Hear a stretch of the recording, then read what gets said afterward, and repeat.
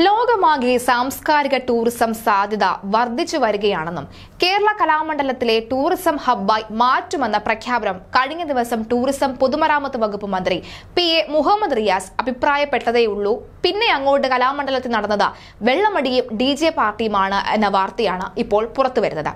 കലാമണ്ഡലത്തിൽ പത്ത് ദിവസങ്ങളിലായി നടന്നുവന്ന നിള ദേശീയ നൃത്ത സംഗീതോത്സവത്തിന്റെ സമാപന സമ്മേളനം കൂത്തമ്പലത്തിൽ വെച്ച് ഉദ്ഘാടനം ചെയ്യുകയായിരുന്നു മന്ത്രി. മന്ത്രിയുടെ കാർ അങ്ങോട്ട് പുറപ്പെട്ടതേ ഉള്ളൂ. പിന്നെ നടന്നത് സംഭവബഹുലമായ കാര്യങ്ങളാണ്. കോവിഡ് കലാരംഗത്ത് വലിയ പ്രതിസന്ധി ഉണ്ടാക്കിയെങ്കിലും അതിനെ നമ്മൾ തരണം ചെയ്തു വരികയാണ്. ആഘോഷങ്ങൾ ടൂറിസത്തിന് വലിയൊരു സംഭാവന തരുന്നുണ്ട്. ആഭ്യന്തര സഞ്ചാരികളുടെ എണ്ണം സർവകാല റെക്കോർഡെത്തിയ വർഷമാണ് കടന്നുപോയത്. ടൂറിസം പ്രാധാന്യമുള്ള സ്ഥാപനമായിട്ടാണ് കലാമണ്ഡലത്തെ ടൂറിസം വകുപ്പ് കാണുന്നത്. ഇക്കഴിഞ്ഞ ടൂറിസം വകുപ്പിന്റെ ഡിസൈൻ പോളിസി ശില്പശാലയിൽ കലാകേന്ദ്രങ്ങൾക്ക് പറ്റാവുന്ന ഇടമായി കണ്ട ഇടം കലാമണ്ഡലമാണ്. കലാമണ്ഡലത്തെ ടൂറിസം ഹബ്ബായി മാറ്റാൻ സർക്കാർ ശ്രമിക്കുകയാണെന്നായിരുന്നു മന്ത്രിയുടെ വാക്കുകൾ. ശേഷം നടന്നത് ഡി പാർട്ടിയും മദ്യപാന സംഘത്തിന്റെ നൃത്തവുമാണെന്നാണ് പുറത്തുവരുന്ന വാർത്ത. കേരള കലാമണ്ഡലത്തിൽ നടന്ന നിള ദേശീയ നൃത്ത സംഗീതോത്സവ സമാപന ദിനത്തിൽ സംഘടിപ്പിച്ച ഡി ജെ പാർട്ടിയെക്കുറിച്ച് അന്വേഷണം ആവശ്യപ്പെട്ട് ഒരു വിഭാഗം കലാകാരന്മാർ സാംസ്കാരിക വകുപ്പ് മന്ത്രിക്ക് പരാതി അയച്ചിരിക്കുകയാണ്.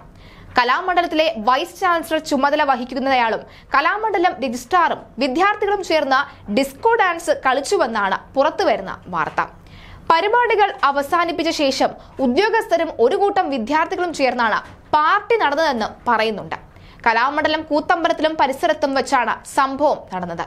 ഗുരുകുല സമ്പ്രദായത്തിൽ ഏറെ ചിട്ടയോടുകൂടി കലകൾ അഭ്യസിക്കുന്ന കലാമണ്ഡലത്തിൽ ഇത്തരത്തിൽ നടന്ന പരിപാടി ഏറെ വിവാദമായിട്ടുണ്ട്.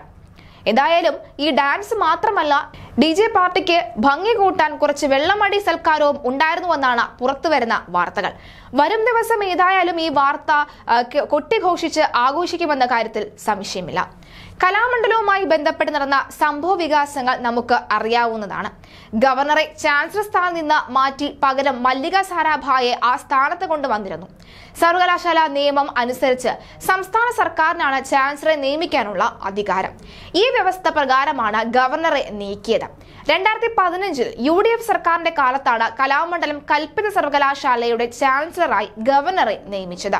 ആ ഉത്തരവ് ഒരു ഭേദഗതിയിലൂടെ സർക്കാർ തിരുത്തുകയായിരുന്നു. സാംസ്കാരിക വകുപ്പ് പുറത്തിറക്കിയ ഉത്തരവിലാണ് ഗവർണറെ നീക്കിയതും കലാരംഗത്തെ ഒരു പ്രമുഖനെ പകരം ചാൻസലറായി നിയമിക്കാമെന്നും വ്യക്തമാക്കിയത്. പുതിയ ചാൻസലറെ സ്പോൺസറായ സർക്കാർ ഉടനെ തന്നെ നിയമിക്കുമെന്ന വിവരങ്ങൾ നേരത്തെ തന്നെ പുറത്തു വന്നിരുന്നു. അതാരെന്ന ചോദ്യത്തിനായിരുന്നു ഉത്തരം ഇടയ്ക്ക് വരികയും ചെയ്തിരുന്നു. സർക്കാരിനെ സംബന്ധിച്ച് ഭേദഗതി വരുത്തി ചാൻസലറെ മാറ്റാൻ കഴിയുമെന്നതാണ് കൽപ്പിത സർവകലാശാലയിൽ ഗവർണറെ നീക്കുന്നത് സർക്കാരിന് എളുപ്പമാക്കി മാറ്റിയത്. കലാമണ്ഡലം ചാൻസലറായി മല്ലിക സാരാഭായെ നിയമിച്ച വിഷയത്തിൽ ഗവർണർ പ്രതികരിക്കുകയും ചെയ്തിരുന്നു. കലാമണ്ഡലം ചാൻസലറായി മല്ലികയെ നിയമിച്ച സംസ്ഥാന സർക്കാർ നടപടിയെ ഗവർണർ സ്വാഗതമാണ് ചെയ്തത്. മല്ലിക സാരാഭായ് യോഗയാണ് എന്നാണ് അന്ന് അദ്ദേഹം പറഞ്ഞത്. അവർക്ക് സ്വതന്ത്രമായി പ്രവർത്തിക്കാൻ കഴിയട്ടെ എന്നും ഗവർണർ അന്ന് ആശംസിച്ചിരുന്നു. മല്ലിക നിർണായകമായ പല പരാമർശങ്ങളും നടത്തുകയും ചെയ്തിരുന്നു. വിദ്യാഭ്യാസ സ്ഥാപനങ്ങളിലെ രാഷ്ട്രീയക്കാർ അധികാരത്തിലേരിക്കേണ്ടെന്ന് കലാമണ്ഡലം കൽപ്പ സർവകലാശാലയുടെ ചാൻസലർ മല്ലിക പ്രതികരിച്ചിരുന്നു. ഗവർണറെ ചാൻസലർ പദവിയിൽ നിന്ന് നീക്കുന്നതാണ് നല്ലതെന്നും മല്ലിക പറഞ്ഞിരുന്നു. കലാകാരന്മാരും വിദ്യാഭ്യാസ വിദഗ്ധരും ചാൻസലറാകുന്നതാണ് ഗുണമെന്നാണ് മല്ലിക പ്രതികരിച്ചത്. കലാമണ്ഡലം ചാൻസലർ സ്ഥാനത്ത് നിന്ന് ഗവർണറെ സർക്കാർ മാറ്റിയതിന്റെ പിന്നാലെ മല്ലികയെ നിയമിക്കുകയായിരുന്നു. ഇതുവരെ കലാമണ്ഡലം കൽപ്പ സർവകലാശാലയുടെ താൽക്കാലിക ചുമതല മന്ത്രി വാസവനായിരുന്നു എന്നതാണ് ശ്രദ്ധേയമായ മറ്റൊരു കാര്യവും. ഏതായാലും നിലവിൽ കഴിഞ്ഞ ദിവസം നടന്ന വെള്ളമടി പാർട്ടിയിലും ഡി ജെ പാർട്ടിയിലും കൂടുതൽ നടപടികൾ ഉണ്ടാകുമെന്ന കാര്യത്തിൽ സംശയമില്ല. വിദ്യാർത്ഥികളും കലാകാരന്മാരുമാണ് പരാതിയുമായി ഇപ്പോൾ രംഗത്തെത്തിയിരിക്കുന്നത്. ഈ ഒരു കാര്യവുമായി ബന്ധപ്പെട്ട് നിലവിലെ സാഹചര്യത്തിൽ പരാതിയുമായി ബന്ധപ്പെട്ട് അന്വേഷണം നടത്തുമെന്ന് തന്നെയാണ് ലഭിക്കുന്ന റിപ്പോർട്ടുകൾ.